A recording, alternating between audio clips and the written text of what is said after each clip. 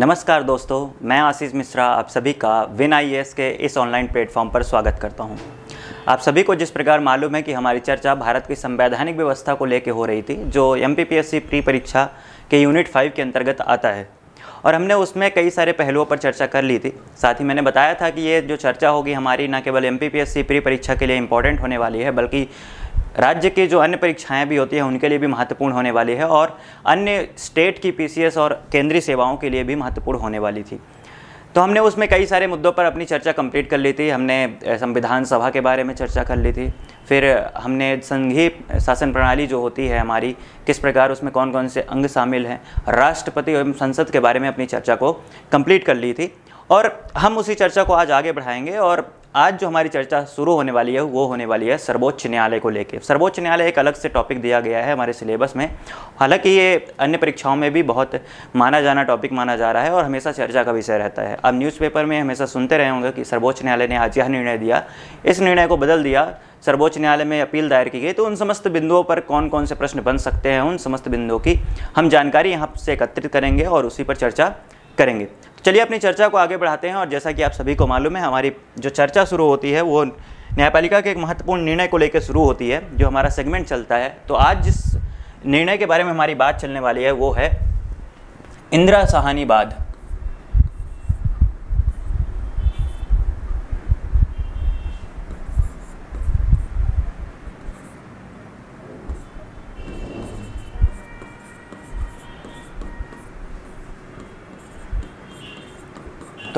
इंदिरा सहानी बाद में आज हमारी चर्चा चलेगी। इंदिरा सहानी बाद उन्नीस सौ बानवे। देखिए, हुआ क्या कि मंडल आयोग गठित हुआ ओबीसी आरक्षण को लेकर और उसने सुझाव दिया कि 27 परसेंट आरक्षण ओबीसी को दिया जाए। और जब ए सिंह की सरकार आती है उन्नीस सौ नवासी में तो वो सत्ताईस परसेंट आरक्षण को स्वीकार कर लेते हैं।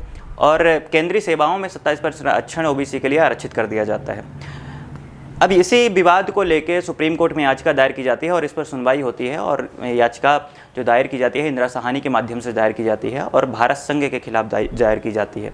सुनवाई करने के दौरान न्यायपालिका इस निर्णय पर पहुँचती है। नौ सदस्यीय बेंच थी, पर ध्यान दीजिएगा, नौ सदस्यीय पीठ थी।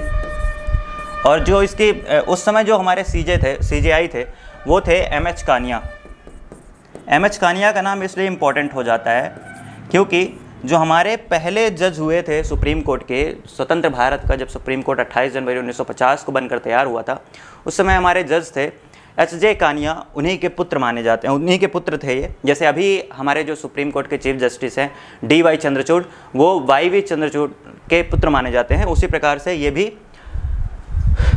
एच जे कानिया के पुत्र थे। नौ सदस्यीय जो बेंच थी, उसने छः तीन से अपना निर्णय दिया। छः पक्ष में और तीन विपक्ष में अपना निर्णय सुनाते हैं और 27 परसेंट जो आरक्षण था, उसको आरक्षण को, ओबीसी आरक्षण को वैध मानते हैं।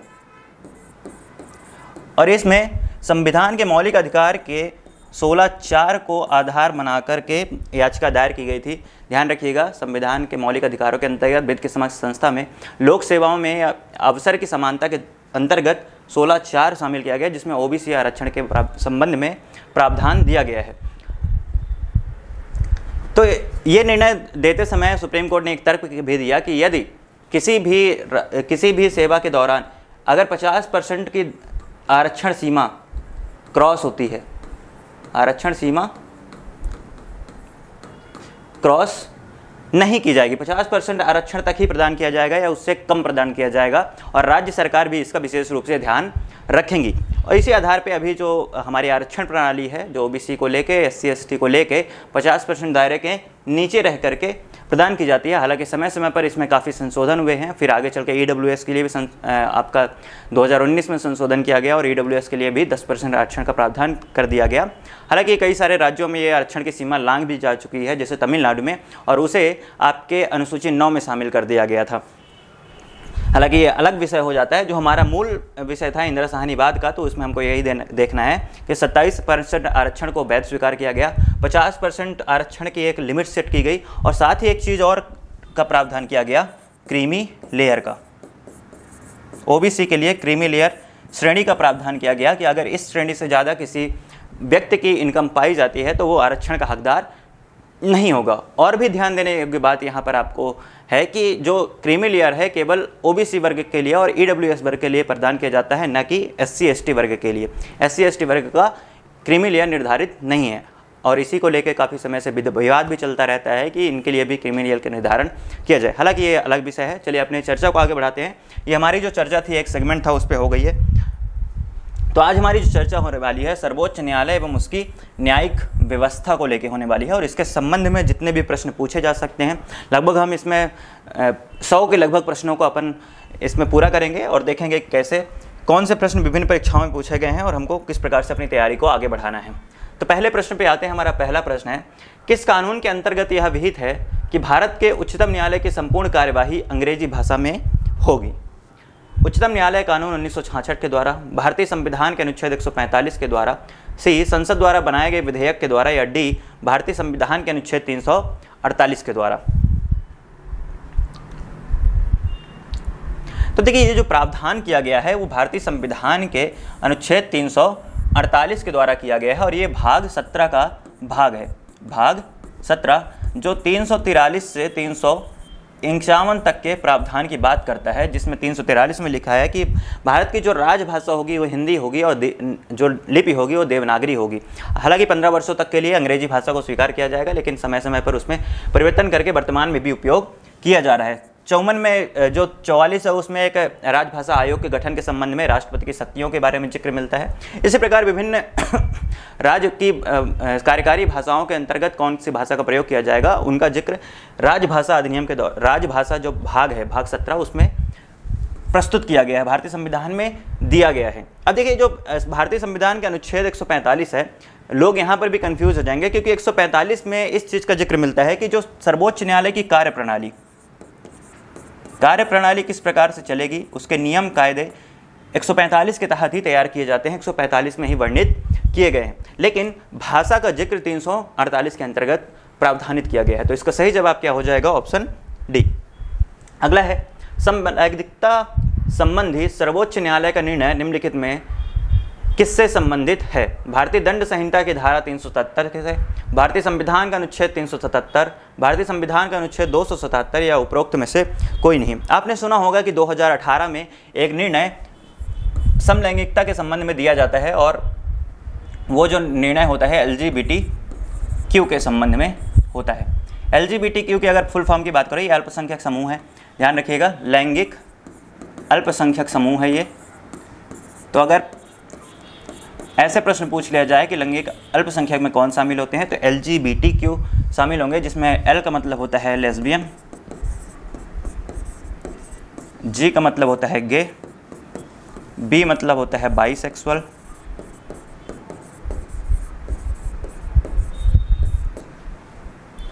टी का मतलब होता है ट्रांसजेंडर, और क्यू का मतलब होता है क्यूर। तो ये इसके अर्थ होते हैं और भारतीय दंड संहिता की धारा तीन के तहत इसको क्या कर दिया गया था? अप्राकृतिक यौन संबंध को अवैध घोषित कर दिया गया था, जो 370 के तहत एक प्रावधान मिलता था। तो हालाँकि इतना इंपॉर्टेंट प्रश्न नहीं है, पर अगर मान लीजिए इस प्रकार की चीज़ें आपसे पूछ ली जाती है तो आप इसका जवाब देने के लिए तैयार रहे। इसका सही जवाब क्या हो जाएगा? Option A. अगला है, उच्चतम न्यायालय ने निम्नलिखित में से किस मामले में पाया कि केंद्रीय अन्वेषण शाखा एक पिंजराबंद तोता है? हमारे ऑप्शन है रेलवे बोर्ड रिश्वत मामले में विनीत नारायणी बनाम भारत संघ मामले में टू जी स्पेक्ट्रम घोटाला बाद में या कोयला आवंटन घोटाला बाद में। तो सीबीआई की बात हो रही है, सीबीआई अभी काफ़ी चर्चा का विषय रहा है। इसलिए प्रश्न पूछा जा सकता है कि पिजराबंद तोता किसे कहा जाता है? एक प्रश्न तो ऐसे आ सकता है कि पिजराबंद तोता किसे कहा जाता है? तो आपका उत्तर हो जाएगा, पिजराबंद तोता आपके सीबीआई को कहा जाता है। इसके अतिरिक्त एक सोने की पिजरे में बंद तोता किसको कहा गया है? तो ये भी आप ध्यान रखिएगा, सरोजिनी नायडू ने राज्यपाल के पद के लिए कहा था। ध्यान रखिएगा, सरोजिनी नायडू ने सोने की, यहाँ लिख देता हूँ ताकि आपके पीडीएफ में मिल जाए। में बंद तोता राज्यपाल के लिए संबोधित किया था। तो ये चीज़ आप ध्यान रखेंगे ये जो आ, मामला था सुप्रीम कोर्ट के पास गया था कोयला आवंटन घोटाला वाद के दौरान ये शब्द प्रदान किया गया था सुप्रीम कोर्ट के द्वारा। तो ये भी एक इंपॉर्टेंट कोयला आवंटन कोयला विवाद बहुत चर्चा में रहा था। कोयले के जो खनन क्षेत्र था उसके नीलामी के संबंध में ये विवाद आया था घोटाला किया गया था। अगले आते हैं। हाल ही में भारत की संसद ने तीन तलाक कानून पारित करके भारत के सर्वोच्च न्यायालय के किस वर्ष के विनिर्णय को समर्थन दिया।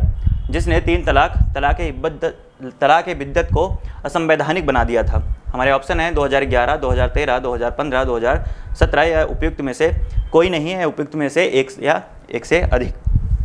देखिए ये प्रश्न बिहार पीएससी के द्वारा पूछा गया था। आपको इसके आधार पे उत्तर को बताना है और ये हाल ही में प्रश्न पूछा गया था 2021 में। मैं जहाँ तक याद कर पा रहा हूँ तो पूछा गया था। तो देखिए 2017 में सर्वोच्च न्यायालय एक निर्णय देता है कि तलाक बिद्दक अब असंवैधानिक प्रक्रिया है जो आपके शरीयत कानून के तहत लागू की जाती है। इसके, इसको ही आधार बना के 2019 में भारत सरकार ने एक कानून बनाया। मुस्लिम महिला विवाह, मुस्लिम महिला विवाह संरक्षण अधिनियम 2019 अब देखिए जो 2017 का जो निर्णय दिया गया था, आप ध्यान दीजिएगा, ये जो केस था, ये था Saira Bano case. Saira Bano case. Saira Bano case के आधार पे सुप्रीम कोर्ट ने निर्णय दिया था कि जो तीन तलाक की बिद्दत तलाक बिद्दत की प्रणाली है, जिसमें फ़ोन के माध्यम से या बोलने के माध्यम से तलाक तलाक तलाक कह दिया जाता है, या अर्जियों के माध्यम से तलाक तलाक तलाक कह दिया जाता है, वो एक असंवैधानिक कृत है। इसके संबंध में निर्देश दिया गया था अपने भारतीय संसद को निर्देश किया था, सरकार को निर्देश दिया गया था। तो सरकार ने दो हज़ार उन्नीस में इसके संबंध में कानून तैयार कर दिया, जो क्या कहलाया? मुस्लिम महिला विवाह संरक्षण अधिनियम दो ये पूरी चर्चा इस प्रश्न पर हुई। हमारा इसका उत्तर हो जाएगा ऑप्शन डी 2017 अगला है लोकहितवाद मुकदमे की संकल्पना का उद्गम देश है। हमारे ऑप्शन है Australia option B Bharat option C UK या ऑप्शन डी यूएसए लोकहितवाद मतलब जनहित याचिका, इसको ही पब्लिक इंटरेस्ट लिटिगेशन भी बोलते हैं। पीआईएल आप सामान्य भाषा में इसका सुनते होंगे। इसको सामान्य भाषा में क्या बोलते हैं?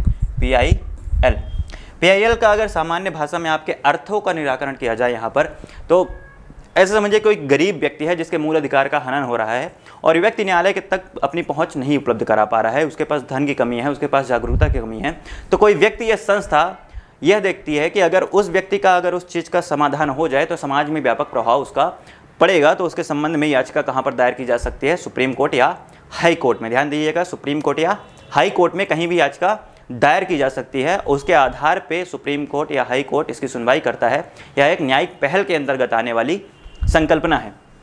तो ये संकल्पना मूल रूप से आपके यूएसए में आई थी और भारत में प्रमुख जज हुए जो पी एन भगवती और बी आर कृष्णन उनके नेतृत्व में यह संचालन किया गया। अगला प्रश्न है, इसका उत्तर होगा ऑप्शन डी यूएसए अगला प्रश्न है, भारत में न्यायिक सक्रियता संबंधित है। प्रतिबद्ध न्यायपालिका से, जनहित याचिका से, न्यायिक पुनरावलोकन से या डी न्यायिक स्वतंत्रता से? बड़ा ही अच्छा सा प्रश्न है, आपको फंसाने के लिए थोड़ा शब्दों से खेला गया है। तो न्यायिक सक्रियता संबंधित है जनहित याचिका से। पहले आप न्यायिक सक्रियता के अर्थ को समझ लीजिए तो आपको ये चीज़ें आसानी से समझ में आ जाएगी कि जब कार्यपालिका एवं विधायिका अपने कार्यों को करने के लिए असक्षम होती है, अपने कार्यों को कर नहीं पाती है, या फिर ऐसा क्षेत्र जहाँ पर विधायिका विहीन क्षेत्र है, वहाँ पर कोई कानून बना नहीं है तो उसके संबंध में न्यायपालिका क्या करती है? आगे रह के कार्यपालिका एवं विधायिका के कार्यों का दायित्व तो अपने ऊपर ले लेती है। इसी को कहा जाता है न्यायिक सक्रियता। और इसी का एक एक्सट्रीम लेवल होता है न्यायिक अति सक्रियता जिसके बारे में आपने सुना भी होगा अभी कुछ दिनों पहले। जब 2018 में एक केस होता है कि एस सी एक्ट में धारा 18 ए के संबंध में सुप्रीम कोर्ट कुछ निर्देश देता है और उसके लिए काफ़ी मात्रा में विरोध होता है, जो अति सक्रियता का उदाहरण था। वो सरकार से ऊपर रह करके कानून बनाती है। इसके अतिरिक्त एन जब असंवैधानिक घोषित किया गया था, उसके दौरान भी ऐसी वैसी बातें उठी थी कि जो अपनी न्यायपालिका है, उसने न्यायिक अति सक्रियता का प्रयोग किया है। हालाँकि ऐसा कोई बात है नहीं, क्योंकि ऑफिशियल ऐसी कोई बात कही नहीं गई थी, न्यूज़पेपर में ऐसे सुनने को मिली थी। हालाँकि जो न्यायिक सक्रियता की प्रक्रिया है, यह आपकी संविधानिक प्रक्रिया नहीं है ये एक न्यायिक पहल है और न्यायिक प्रक्रिया के दौरान मानी जाती है। न्यायिक नवाचार बोल सकते हैं इसको। यह एक न्यायिक नवाचार है।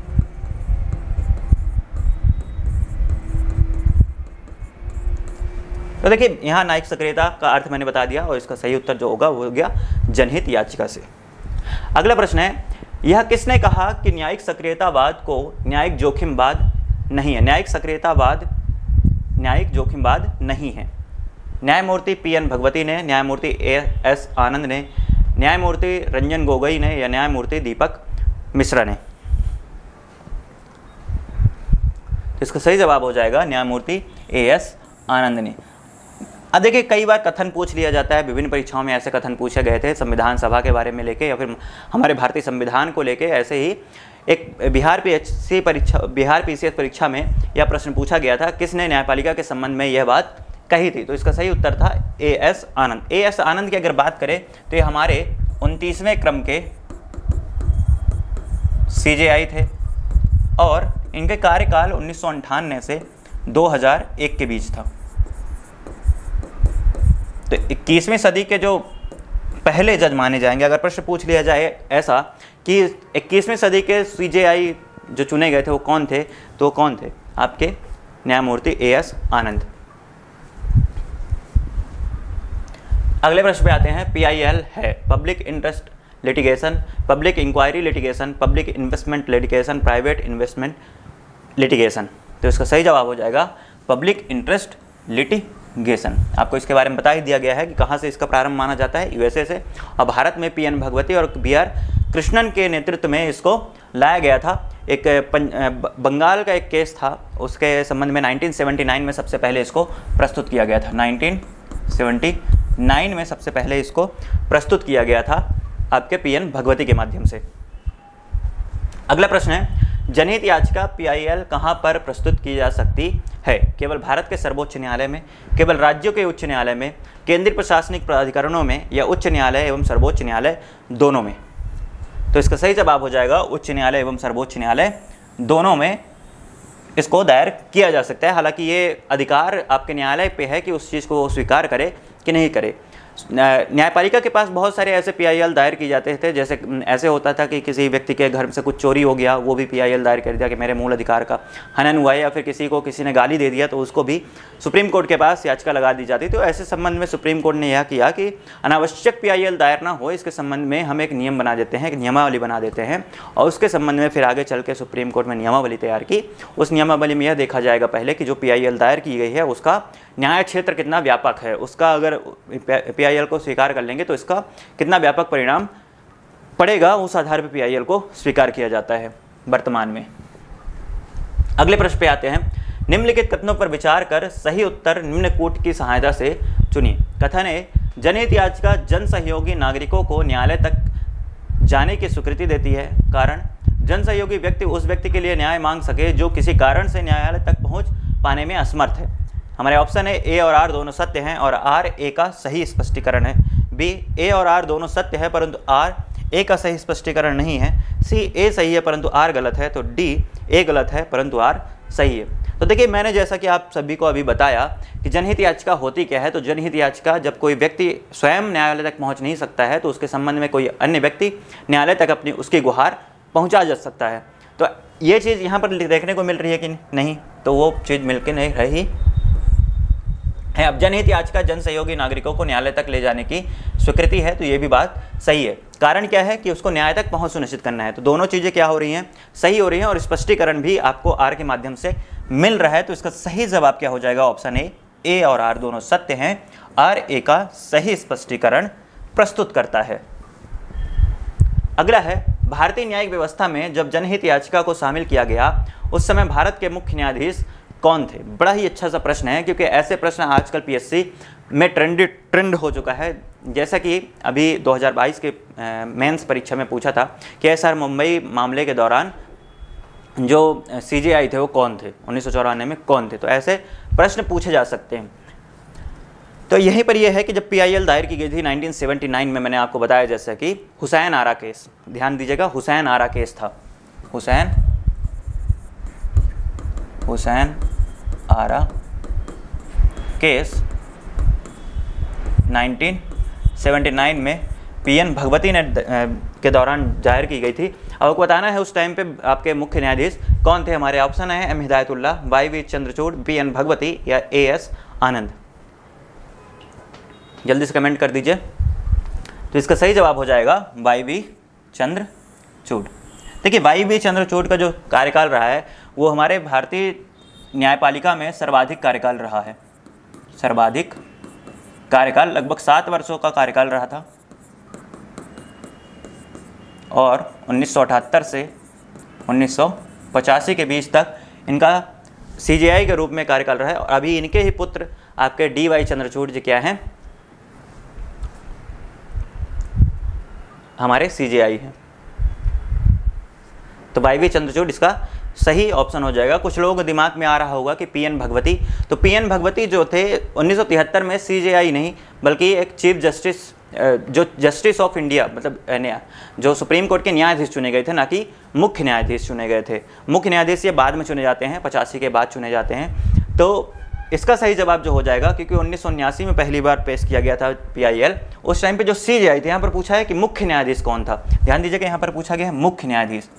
तो कंफ्यूज नहीं होना है। जल्दी जल्दी में गलती नहीं करनी है। इस चीज़ को आपको पकड़ना है। तो उस टाइम पे हमारे न्यायाधीश थे Y V Chandrachud.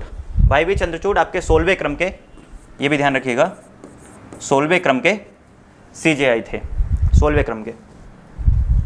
अगला है, जनहित याचिका की शुरुआत किसके द्वारा की गई? संसदीय एक्ट के द्वारा, संवैधानिक संशोधन के द्वारा, न्यायिक पहल के द्वारा या उपरोक्त में से कोई नहीं। तो आपने कभी क्या देखा है, ऐसा सुना है क्या कि पीआईएल के संबंध में कोई संवैधानिक प्रावधान लिखा हुआ है? तो ऐसा नहीं लिखा हुआ है, कहीं पर भी नहीं लिखा हुआ है संविधान में, बल्कि ये कहाँ पर लिखा हुआ है, कहाँ पर व्यवस्था की गई है, न्यायिक पहल के द्वारा, और इसको आगे चल के जो 145 की नियमावली है, जो न्यायपालिका की नियमावली है, उसके तहत शामिल कर लिया गया कि कौन से मामलों को पीआईएल के अंतर्गत स्वीकार किया जा सकता है और कौन से मामलों को दायर किया जा सकता है। तो न्यायिक पहल है ये एक।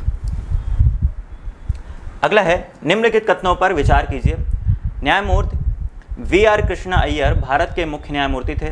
न्यायमूर्ति वी आर कृष्ण अय्यर भारतीय न्यायिक सेवा में लोकहित याचिका के प्रजनकों में से एक माने जाते हैं। उबित कथनों में से कौन सा या से सही है या है? हमारे ऑप्शन है केवल एक, केवल दो, एक और दो दोनों, ना तो एक और ना ही दो।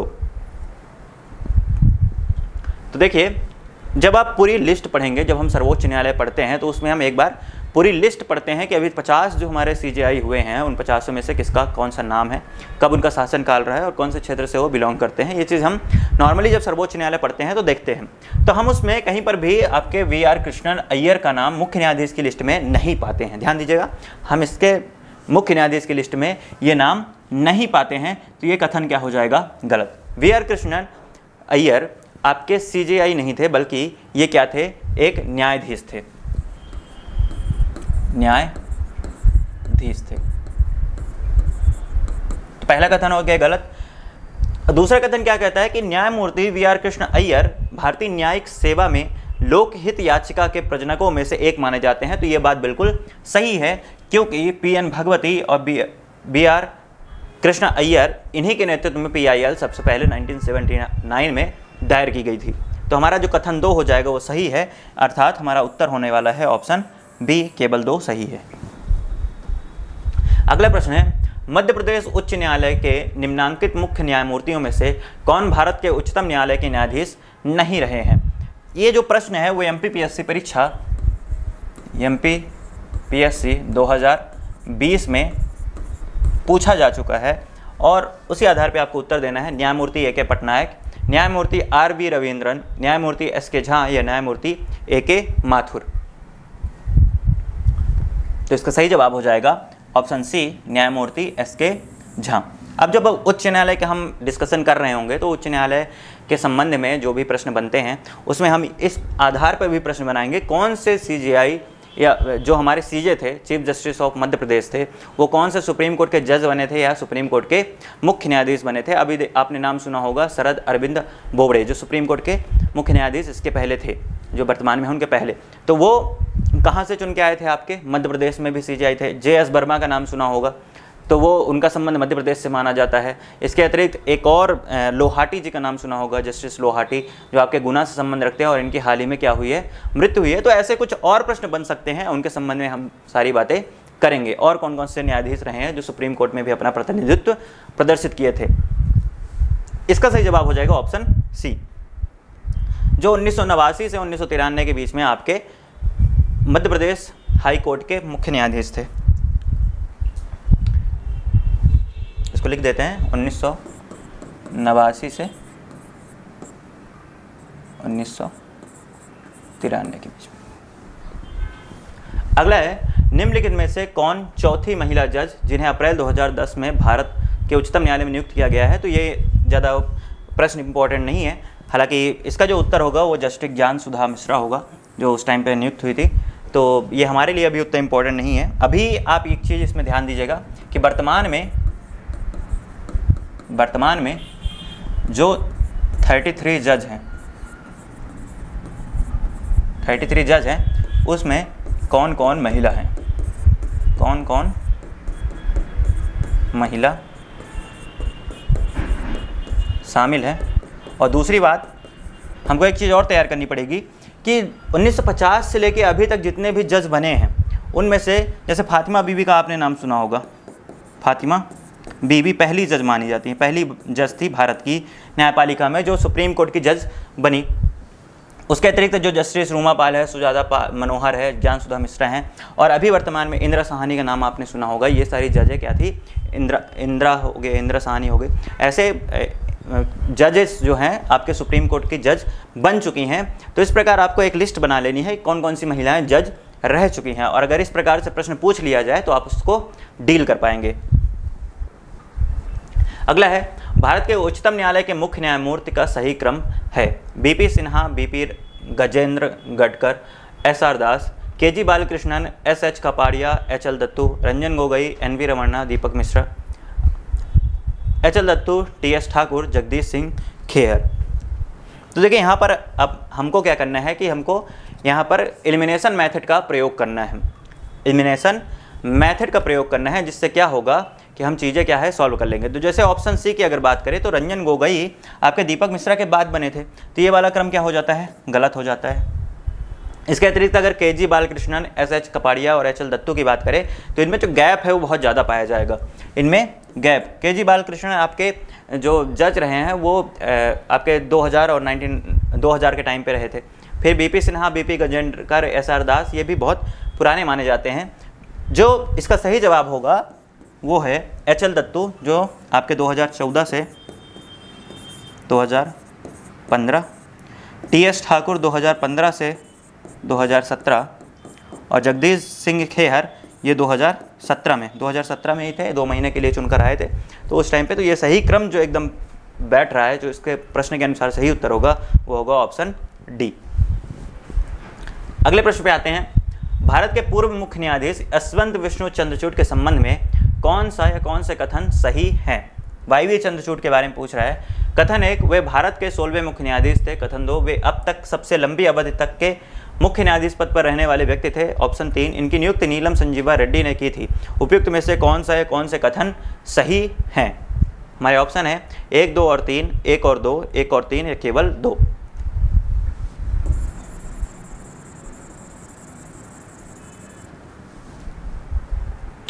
देखिए, ये प्रश्न पूछा गया था छत्तीसगढ़ पीसीएस में 2021 में। छत्तीसगढ़ पीएससी परीक्षा 2021 में पूछा गया था।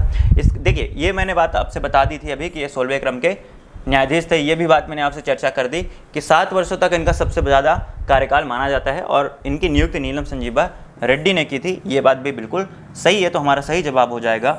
ऑप्शन ए, एक और दो, तीन, तीनों सही है। अगला प्रश्न है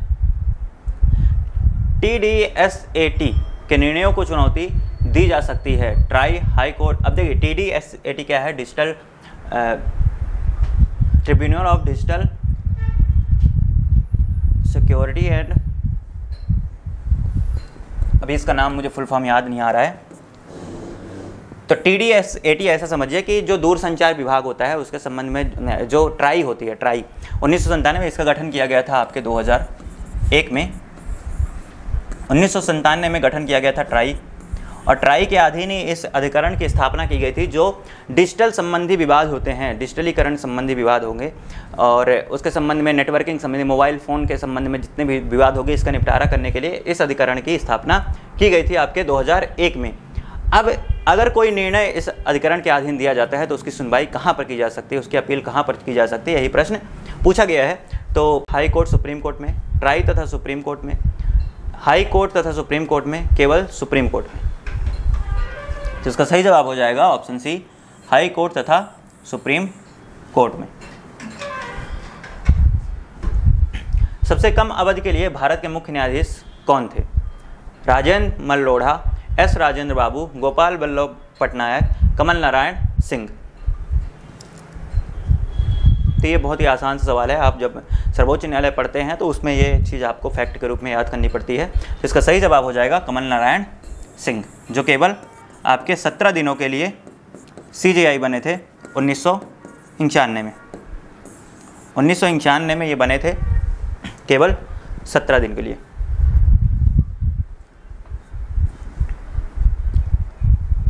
आगे चलते हैं।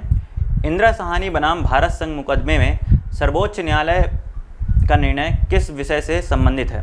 सरकारी नौकरियों में अन्य पिछड़ा वर्ग का आरक्षण, मूल ढांचे का सिद्धांत, अनुसूचित जाति के प्रमोशन में आरक्षण की स्वीकृति, अनुसूचित जनजाति के आरक्षण को बढ़ाना, उपयुक्त में से कोई नहीं है उपयुक्त में से एक से अधिक। देखिए, इंदिरा सहानी बनाम भारत संघ के मामले की चर्चा अभी मैंने, जो हमारा आज का सेगमेंट था, उसमें की थी। उसी आधार पर देखिए, हमारा उत्तर बन पा रहा है कि नहीं। तो हमने जैसा कि बताया कि सरकारी नौकरियों में अन्य पिछड़ा वर्गों के आरक्षण की बात करता था। और 27 परसेंट आरक्षण को इसने क्या माना था? वैध माना था। नौ सदस्यीय बेंच थी। नौ सदस्यीय बेंच थी और एम एच कानिया उस समय क्या थे? आपके सीजीआई थे। यही चीज़ हमने डिस्कस की थी और यही चीज़ यहाँ पर आ गई है तो हम इस चीज़ को सॉल्व कर लिए। तो हमारा सही उत्तर हो जाएगा ऑप्शन ए, सरकारी नौकरियों में अन्य पिछड़ा वर्ग का आरक्षण। अगला प्रश्न है देश के किसी भी न्यायालय में चल रहे वाद को अन्यत्र भेजने का अधिकार किसके पास है? राष्ट्रपति, उच्च न्यायालय, सर्वोच्च न्यायालय या इनमें से कोई नहीं। ध्यान दीजिएगा, यहाँ पर लिखा है, देश के किसी भी न्यायालय में। ये नहीं बोल रहा है कि किसी भी क्षेत्र में भेजने का अधिकार। अगर ऐसा होता तो एक ज़िले से दूसरे ज़िले में अधिकार भेजने का है उच्च न्यायालय को। लेकिन सर्वोच्च न्यायालय के पास है क्या? ये अधिकार कि वो किसी भी मामले को एक न्यायालय से दूसरे न्यायालय पे मतलब एक हाई कोर्ट से दूसरे हाई कोर्ट पे भेज सकता है। या फिर हाई कोर्ट से कहाँ पर ले सकता है? केंद्र पे ले सकता है। यह अधिकार किसको है? आपके सर्वोच्च न्यायालय को। अगले प्रश्न पे आते हैं। निम्नलिखित कथनों पर विचार कीजिए। भारत का उच्चतम न्यायालय भारत के राष्ट्रपति को विधि अथवा तथ्यों के विषय में सलाह देता है। अब इसके संबंध में लिखे गए हैं स्वप्रेरण पर व्यापक लोकहित के विषय में। यदि वह ऐसी कोई सलाह माँगता है यह केवल यदि विषय नागरिक के मूल अधिकारों से संबंधित है। तो देखिए, आपको पता है कि 143 जो अनुच्छेद है 143 अनुच्छेद के अंतर्गत राष्ट्रपति किससे जो सुप्रीम कोर्ट है, उससे आप परामर्श मांग सकता है। उसी के संबंध में ये प्रश्न लिखा हुआ है। तो यहाँ पर बोला है कि न्यायपालिका कैसे जवाब दे सकती है तो बोल रहा है स्वप्रेरण से मतलब स्वयं से ही। तो क्या न्यायपालिका अपने आप जाके राष्ट्रपति को ऐसा कुछ सुझाव देगी क्या? तो नहीं। चाहे लोकहित का विषय हो, चाहे ना हो, ऐसा कोई सुझाव प्रस्तुत नहीं करेगी। केवल यदि नाग, विषय नागरिक के मूल अधिकारों से संबंधित हो तो क्या यह राष्ट्रपति को देने जाएगी क्या? नहीं। इसके संबंध में वो केंद्र सरकार के भारत सरकार के निर्देश दे सकती है, विधायिका को निर्देश दे सकती है कि इसके संबंध में आप कानून बनाओ, ना कि राष्ट्रपति को देगी। फिर, यदि वह ऐसा कोई सलाह माँगता है तो ये बात बिल्कुल सही है कि जब राष्ट्रपति इस प्रकार से कोई सलाह मांगेगा, तभी आपका सुप्रीम कोर्ट इस प्रकार की सलाह दे सकता है। विधिक विषय में तो दे सकता है या नहीं भी दे सकता है। मगर अगर जब मांगेगा, तभी उस पर ऐसी कार्यवाही करेगा। तो हमारा उत्तर क्या हो जाएगा? केवल दो। अर्थात बी क्रम के जो हमारा उत्तर है, वो केवल सही है। मैं भारत के संविधान के प्रति सच्चे विश्वास एवं सच्चे निष्ठा रखूँगा। भारत की संप्रभुता एवं अखंडता को बनाए रखूँगा। अपने पद के कर्तव्यों का निर्वहन करूँगा। संविधान और कानून की रक्षा करूँगा। यह शपथ ली जाती है। भारत के राष्ट्रपति द्वारा, भारत के मुख्य न्यायाधीश द्वारा, संसद के सदस्यों के द्वारा या डी राज्यपाल के द्वारा। देखिए, इसका ज़िक्र मिलता है आपके अनुच्छेद 124 में।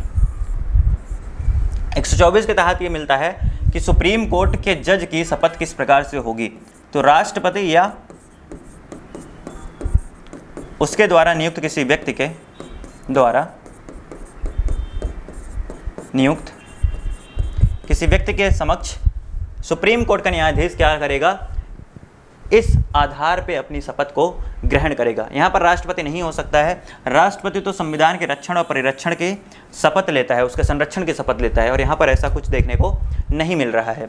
इसके अतिरिक्त अगर प्रधानमंत्री और मंत्रिपरिषद की बात आती तो वो पद एवं गोपनीयता की शपथ लेते हैं। तो ये यहाँ पर उत्तर क्या हो जाएगा?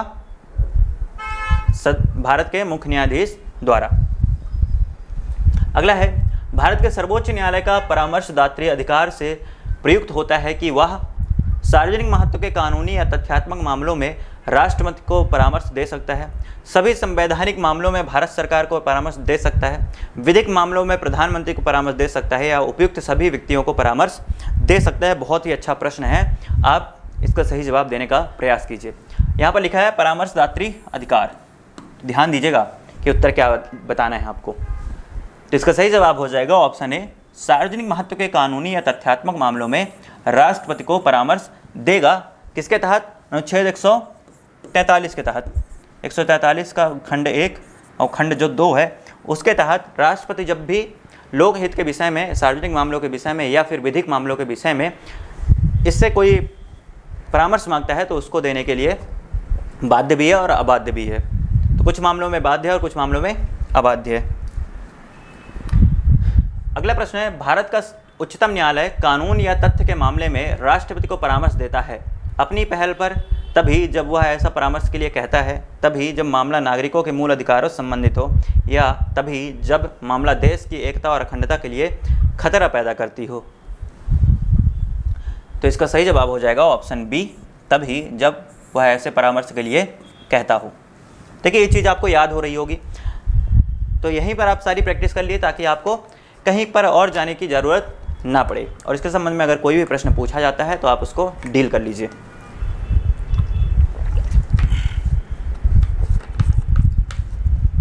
और ऐसे परामर्श कई बार सुप्रीम कोर्ट ने दिए भी हैं। जैसे आपने नाम सुना होगा, राम मंदिर का मामला अभी काफ़ी चर्चा में रहा था। तो उन्नीस सौ तिरानवे में राम मंदिर के संबंध में राष्ट्रपति ने इससे सुझाव मांगा था, हालाँकि सुप्रीम कोर्ट ने उसके लिए मना कर दिया था। इसके अतिरिक्त जो कोयला घोटाला था, टू स्पेक्ट्रम घोटाला था, टू स्पेक्ट्रम घोटाला मुख्य रूप से उसके संबंध में भी परामर्श मांगी गई थी। तो ये बात हो गई कि इसके संबंध में आपके राष्ट्रपति के परामर्श, जो सुप्रीम कोर्ट है, उसके परामर्शदात्री क्षेत्राधिकार की। संविधान के अंतर्गत उच्चतम न्यायालय से विधि के प्रश्न पर राय लेने को किसका अधिकार है? उच्चतम न्यायालय से विधि के प्रश्न पर। प्रधानमंत्री को, राष्ट्रपति को, किसी भी उच्च न्यायालय को या उपयुक्त सभी को। तो सब इसका सही जवाब हो जाएगा राष्ट्रपति को। अगले प्रश्न पे आते हैं। भारतीय संविधान के किस अनुच्छेद के तहत सर्वोच्च न्यायालय भारतीय नागरिकों के मौलिक अधिकारों को सुरक्षा प्रदान करता है? चौहत्तर, छप्पन, सोलह एवं बत्तीस। तो इसका सही जवाब हो जाएगा ऑप्शन डी, अनुच्छेद बत्तीस, जो किसकी बात करता है? संवैधानिक उपचारों की बात करता है। और अगर किसी व्यक्ति के मूल अधिकार का हनन हो रहा है तो न्यायालय के पास अपनी क्या लगा सकता है? गुहार लगा सकता है। उसके पास अपनी याचिका दायर करवा सकता है और याचिका के दौरान न्यायालय पाँच प्रकार की रिट जारी कर सकती है। पाँच प्रकार की रिट। अब वो रिट कौन कौन सी है? सुन लीजिए। यहाँ पर लिखने में थोड़ा टाइम चला जाएगा। बंदी प्रत्यक्षीकरण, अधिकार परीक्षा, परमादेश, प्रतिषेध और उत्प्रेषण। ये जो पाँच रिटें हैं, वो सुप्रीम कोर्ट द्वारा मूल अधिकारियों के हनन के संबंध में जारी की जा सकती है। तो कई बार ये जो रिटें होती हैं, उनके अंग्रेज़ी नाम को देखकर भी प्रश्न पूछे जा सकते हैं। तो हालाँकि इसके संबंध में प्रश्न बनाया भी गया है तो आपसे आगे मिलेगा भी। विधायी शक्तियों की संघीय सूची में समाविष्ट किसी विषय के संबंध में भारत के उच्चतम न्यायालय के अधिकार क्षेत्र को बढ़ाने का अधिकार दिया गया है। हमारे ऑप्शन है, भारत के राष्ट्रपति को, भारत के मुख्य न्यायमूर्ति को ऑप्शन सी, संसद को या विधि, न्याय और कंपनी कार्य मंत्रालय को। तो इसका सही जवाब हो जाएगा ऑप्शन सी, भारत की संसद को। यह, ये जो व्यवस्था दी गई है, आर्टिकल 138 के तहत प्रदान की गई है। साथ ही, अगर किसी भी उच्चतम उच्चतम न्यायालय के अगर जो उनका क्षेत्राधिकार है, उनको बढ़ाने के लिए कोई प्रावधान करती है संसद तो वो प्रावधान दिया गया है आपके एक सौ उनतालीस के तहत। ध्यान दीजिएगा। एक के तहत अगर क्षेत्राधिकार बढ़ाने की बात की जाएगी, जो मूल अधिकारों तक सीमित है, उसको अगर बढ़ाना चाहेगी तो आर्टिकल एक सौ उनतालीस का प्रयोग करेगी संसद लेकिन अगर किसी उसके उच्चतम न्यायालय के विषय को बढ़ाना चाहेगी, उसके विषय का विस्तार करना चाहती है तो वो कहलाएगा क्या? आर्टिकल एक सौ अड़तीस के तहत। अगला है, भारतीय संविधान का अभिभावकत्व निहित है। मतलब इसका अभिभावक कौन है भारतीय संविधान का? राष्ट्रपति में, लोकसभा में, सर्वोच्च न्यायालय में या डी मंत्रिमंडल में? तो इसका सही जवाब हो जाएगा ऑप्शन सी, सर्वोच्च न्यायालय में। अभी यहाँ पर कन्फ्यूज़न आपको नहीं हो रहा होगा क्योंकि बड़ा इजी सा लग रहा है। अगर मान लीजिए यहाँ पर संसद लिख लिया होता, राष्ट्रपति लिख लिया होता, सर्वोच्च न्यायालय लिख लिया होता न्यायालय बस लिख लिया होता तो फंस जाते आप। पर आप ध्यान दीजिएगा, इसका सही उत्तर हो जाएगा सर्वोच्च न्यायालय। इसीलिए समय समय पर सर्वोच्च न्यायालय इसकी व्याख्या करता रहता है। नीचे दो कथन दिए गए हैं, जिनमें एक को कथन ए तथा दूसरे को कथन कारण आर कहा गया है। कथन ए कहता है, केंद्रीय कानूनों की संवैधानिक वैधता के संबंध में भारत के सर्वोच्च न्यायालय की अनन्य अधिकारिता है। कारण है कि सर्वोच्च न्यायालय भारतीय संविधान का संरक्षक है। नीचे दिए गए कूटों में से सही उत्तर चुनिए। ए तथा आर दोनों सही हैं। आर कथन ए का सही व्याख्या है। ए और आर दोनों सही है, परंतु आर कथन ए का सही व्याख्या नहीं है। ए सही है किंतु आर गलत है ए गलत है किंतु आर सही है। तो देखिए, यह अनन्य का अर्थ होता है कि केवल इसी को। अनन मतलब मूल रूप से केवल इन्हीं को। तो क्या कोई कानून बनता है तो उसकी संवैधानिक व्याख्या के संबंध में केवल सर्वोच्च न्यायालय का अधिकार है? हाई कोर्ट को नहीं है क्या? हाई कोर्ट को भी है। तो ये कथन क्या हो जाता है? गलत हो जाता है। दूसरी बात बिल्कुल सही है कि सर्वोच्च न्यायालय को संविधान का संरक्षक कहा गया है तो हमारा इसका सही जवाब हो जाएगा ऑप्शन डी कि ए गलत है और आर सही है। अगला है, संविधान की व्याख्या करने का अंतिम अधिकार किसे है? राष्ट्रपति, attorney general of India, Lok Sabha अध्यक्ष या सर्वोच्च न्यायालय? तो इसका सही जवाब हो जाएगा सर्वोच्च न्यायालय। भारत में न्यायिक प्रणाली किस पर आधारित है? संविधान में नियमित कानून की, अब देखिए यहाँ पर जो प्रश्न है, थोड़ा सा इसको संशोधित कर देते हैं। भारत में मूल न्यायिक प्रणाली किस पर आधारित है? संविधान में नियमित कानून की उचित प्रक्रिया, परंपरा पे या डी कानून में? जिसका सही जवाब हो जाएगा ऑप्शन ए, संविधान में। तो देखिए, भारत में न्यायिक प्रणाली अभी अगर देखा जाए तो संविधान पर तो आधारित है, लेकिन उसके लिए एक कानूनी उचित प्रक्रिया भी होती है, उसके लिए कानून भी होता है। लेकिन यहाँ पर प्रश्न है कि मूल न्यायिक प्रणाली किस पर आधारित है? तो सारे जो हमारी न्यायिक चीज़ें बनी हुई है, चाहे कोई भी कानून हो, वो कहीं ना कहीं किससे प्रेरित है आपके? संविधान से प्रेरित है। तो इसका सही जवाब हो जाएगा ऑप्शन ए संविधान। कोई भी संविधान, संशोधन, कानून, भारतीय सर्वोच्च न्यायालय द्वारा असंवैधानिक घोषित किया जा सकता है यदि वह वर्तमान दो स्तरीय संघीय व्यवस्था के स्थान पर तीन स्तरीय व्यवस्था स्थापित करता है। विधि के समक्ष समानता के अधिकार को भाग तीन से हटाकर संविधान में अन्यत्र कहीं रखता है। या सी कार्यकारिणी की संसदीय व्यवस्था के स्थान पर अध्यात्मक व्यवस्था रखता है। या डी, सर्वोच्च न्यायालय के भार को कम करने हेतु संघीय अपीलीय न्यायालय स्थापित करता है। तो बताइए इसमें सही जवाब क्या होगा? तो इसका सही जवाब हो जाएगा ऑप्शन बी, विधि के समक्ष समानता।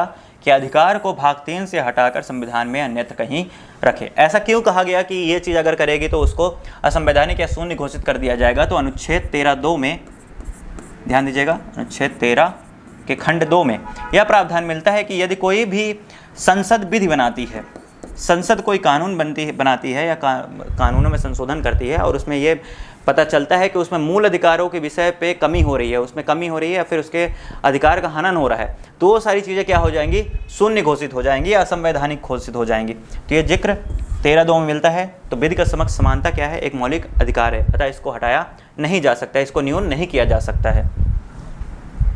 अगला है सर्वोच्च न्यायालय एक संघीय न्यायालय है मानव अधिकारों का संरक्षक है, संविधान का अंतिम विवेचक है, सिविल न्यायालय है, उपयुक्त में से कोई नहीं है, उपयुक्त में से एक से अधिक।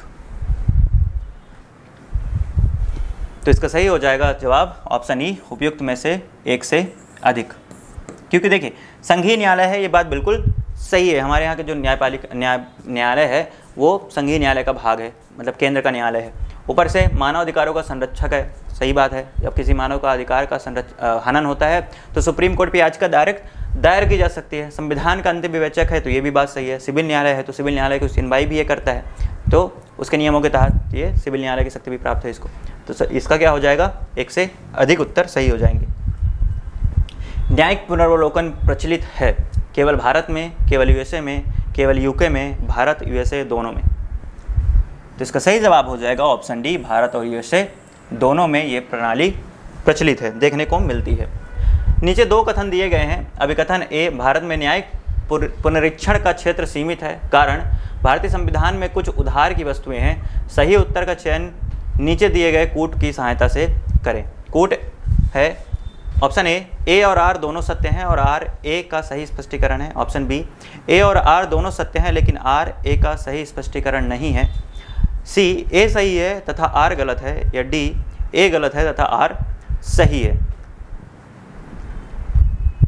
तो ध्यान से पढ़िए अभिकथन क्या कहता है कि भारत में न्यायिक पुनरीक्षण का क्षेत्र सीमित है तो ये बात सही है कि नहीं? बिल्कुल सही है। ये बात सही है कि हमारे न्यायिक पुनरीक्षण के लिए हमारे, जो सर्वोच्च न्यायालय की शक्ति है, वो सीमित है। कुछ ही विषयों पर कर सकता है। बाकी तो कानून संसद द्वारा बना ही दिया जाता है। तो हर विषय पर नहीं करता है। बल्कि अगर मूल अधिकारों मूल अधिकारों के संबंध में हो गया, मौलिक ढांचा के संबंध में हो गया, उस पर क्या करता है आपके?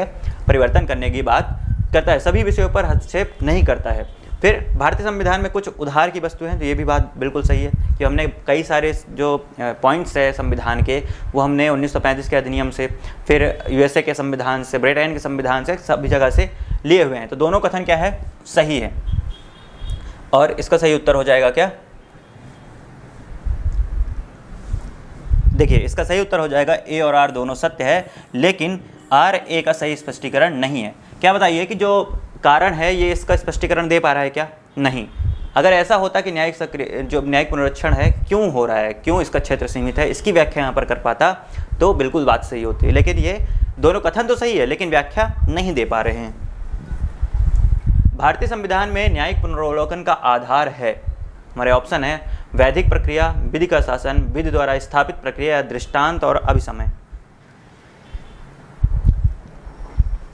इसका सही जवाब हो जाएगा विधि द्वारा स्थापित प्रक्रिया। देखिए, विधि द्वारा स्थापित प्रक्रिया का प्रावधान हमने जापान के संविधान से लिया था। जापान से। और इसके संबंध में कई सारे आपके न्यायिक निर्णय भी दिए गए थे, जैसे ए के गोपालनवाद 1950 ये किससे संबंधित था? विधि द्वारा स्थापित प्रक्रिया से ही संबंधित था। आर्टिकल 21 मुख्य रूप से इसी पर आधारित है। विधि द्वारा स्थापित प्रक्रिया के तहत जीवन देने के अधिकार को प्रदान करता है। अगला है, भारत के संविधान के संदर्भ में निम्नलिखित कथनों पर विचार कीजिए। किसी भी केंद्रीय विधि को संवैधानिक रूप से अवैध घोषित करने की किसी भी उच्च न्यायालय को अधिकारिकता नहीं है। दूसरा, भारत के संविधान के किसी भी संशोधन पर भारत के उच्चतम न्यायालय द्वारा प्रश्न नहीं उठाया जा सकता है। उपयुक्त में से कौन सा ऐसे कथन सही है? केवल एक, केवल दो, एक और दो दोनों, ना तो एक, ना ही दो। तो देखिए जब भी कोई केंद्रीय कानून बनेगा, उसके संबंध में संवैधानिक रूप से अवैध घोषित करने का अधिकार उच्च न्यायालय को प्राप्त होता है। ध्यान दीजिएगा, प्राप्त होता है। यहाँ पर लिखा है, आधिकारिकता नहीं होगी। लेकिन इनको प्राप्त होता है। और मान लीजिए कोई भी जो कानून बना है, उसको असंवैधानिक घोषित कर दिया गया है हाई कोर्ट के माध्यम से। तो उसकी सुनवाई कहाँ पर की जा सकती है? उस पर अपील कहाँ पर दायर की जा सकती है? सुप्रीम कोर्ट में। तो सुनवाई का तो अधिकार मिल रहा है ना इनको? अवैध घोषित करने का अधिकार तो मिल रहा है। तो ये बात क्या हो जाती है? गलत हो जाती है। फिर दूसरा अगर बात करें कि भारत के संविधान संशोधन के किसी संशोधन पर भारत के उच्चतम न्यायालय द्वारा प्रश्न नहीं उठाया जा सकता है तो ये बात भी क्या है? गलत है। इसके संबंध में न्यायिक समीक्षा की जा सकती है। तो दोनों कथन गलत हो जाएँगे तो हमारा उत्तर हो जाएगा ऑप्शन डी, ना तो एक और ना ही दो। अगला है, न्यायिक पुनर्वलोकन में न्याय, न्यायालय को निम्नलिखित अधिकार है। यदि कोई कानून या आदेश संविधान के विपरीत हो तो उसे असंवैधानिक घोषित करना, निचले न्यायालय के आदेशों को पुनर्वलोकन करना, निचले न्यायालय को निर्णय को विरुद्ध अपील सुनना। कानूनों को इस दृष्टिकोण से परीक्षण की क्या उनके बनाने में निर्धारित प्रक्रिया का अनुपालन हुआ है? तो इसका सही जवाब हो जाएगा, यदि कोई कानून या आदेश संविधान के विपरीत हो तो उसे असंवैधानिक घोषित करना यही उद्देश्य होता है आपके न्यायिक पुनर्वलोकन का। अगला है, भारत का संविधान अपने मूल ढांचे को संघवाद पंथ निरपेक्ष मूल अधिकारों तथा लोकतंत्र के रूप में परिभाषित करता है। दूसरा है, भारत का संविधान नागरिकों की स्वतंत्रता तथा उन आदर्शों जिन पर संविधान आधारित है की सुरक्षा हेतु तो न्यायिक पुनर्वलोकन की व्याख्या करता है, व्यवस्था करता है। सॉरी ध्यान दीजिएगा, यहाँ पर व्यवस्था लिखा है। उपयुक्त तत्व में से कौन सा, यह से सही है? केवल एक, केवल दो, एक और दो दोनों, ना तो एक, ना ही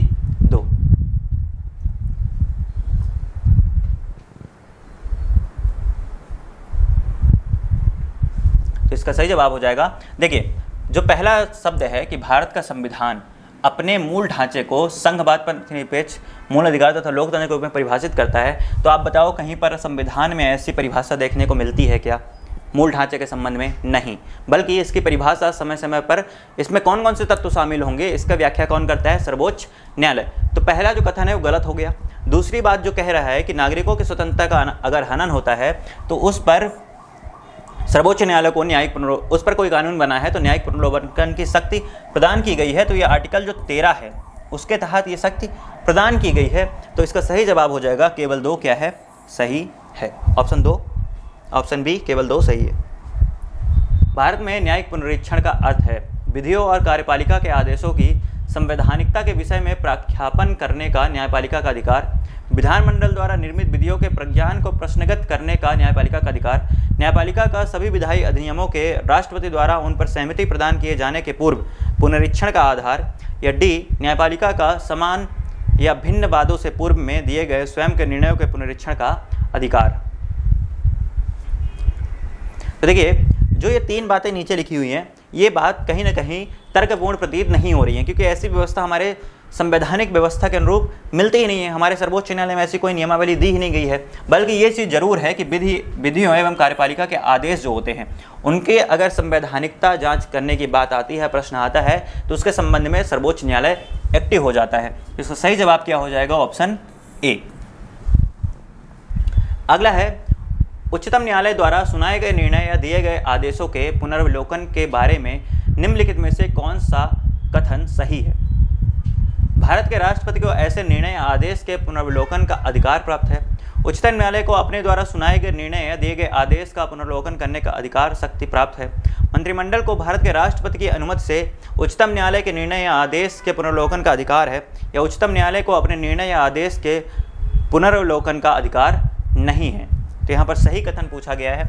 देखिए, भारत के राष्ट्रपति को ऐसे निर्णयों और आदेश का पुनर्वलोकन का अधिकार है तो ऐसी बात नहीं है। हमारे यहाँ बीटो ज़रूर प्रदान की गई है, लेकिन उसको पुनर्वलोकन का अधिकार का अधिकार प्रदान नहीं किया गया। यह अधिकार किसको प्रदान किया गया है? आपके सुप्रीम कोर्ट को।